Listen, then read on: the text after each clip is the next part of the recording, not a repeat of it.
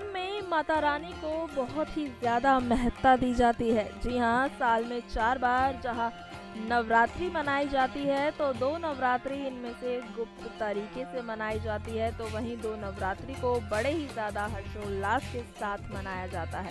कहा जाता है, माँ शेरा वाली जिसके ऊपर अपनी कृपा कर दे उसके सभी दुख नष्ट हो जाते हैं और जो भी सच्चे मन से माँ शेरा वाली की भक्ति करता है, उनके सभी दुख भी नष्ट हो जाते हैं।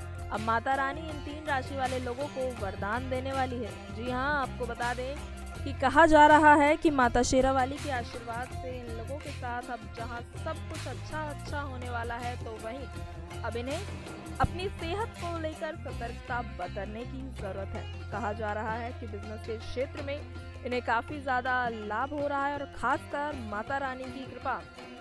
विद्यार्थी वर्ग के लोगों पर ज़्यादा पड़ रही है। जी हाँ कहा जा रहा है कि अब पढ़ाई लिखाई के मामले में अच्छे रिज़ल्ट इन लोगों को मिल सकते हैं और वहीं अब कुछ ऐसा बदलाव आपको अपने जीवन में देखने को मिलेगा जो कि काफ़ी ज़्यादा सकारात्मक रहने वाला है। चलिए, अब आपको उन तीन राशियों के बारे में बता देते हैं।